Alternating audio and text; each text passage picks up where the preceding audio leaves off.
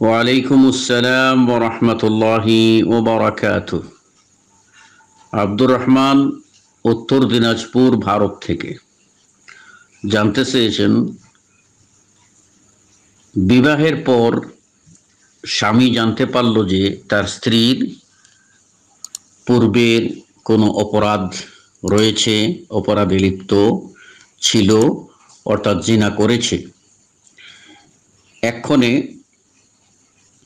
স্বামী এর কাছে যদি ক্ষমা চায়, তাহলে কি ক্ষমা হয়ে যাবে? জবাব, এই মাসআলার কয়েকটি দিক রয়েছে। এক নম্বর, বিবাহ করার সময়ে দিনদার, গুণবতী মহিলাকে অগ্রাধিকার দিয়ে বিয়ে করা এবং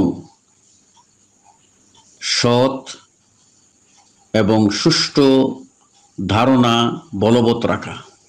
দুই, বিবাহের পর কোনো স্ত্রীর বা স্ত্রী স্বামীর একে অন্যের অতীত নিয়ে টানাটানি করা শরীয়তে বৈধ নয়।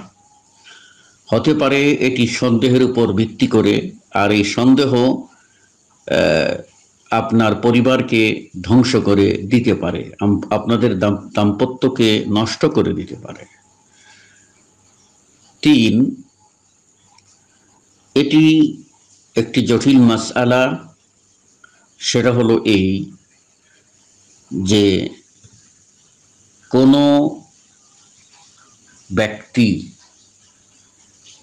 স্বামী হোক অথবা স্ত্রী হোক, তাদের অপরাধের জন্য একে অন্যের কাছে ক্ষমা চাওয়ার বিষয়টি এখানে মুখ্য নয়। মুখ্য হলো অপরাধ করে করে থাকলে তারা আল্লাহর কাছে ক্ষমা চাইবে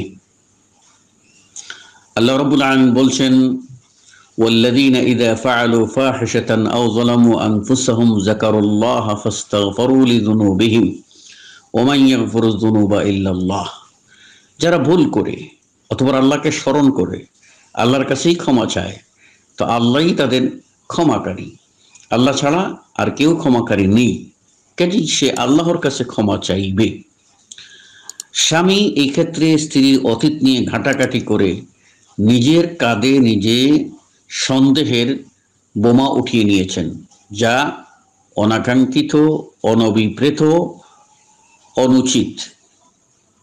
পঞ্চম নম্বর, যদি ইতিপূর্বে এইরকম বেবিচারে লিপ্ত হওয়ার কোনো ঘটনা প্রমাণিত হয়। তাহলে সেটি বিচার করতে হবে যে সন্তান আসবে।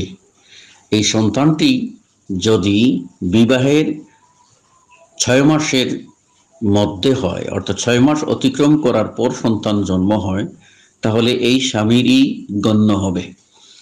আর যদি ছয় মাসের আগে অর্থাৎ ছয় মাস পূর্ণ হওয়ার আগেই চার পাঁচ মাসে সন্তান প্রসব করে, তাহলে এটি এই স্বামীর নয়, বরং তার পূর্বের কৃত কর্মের ফল।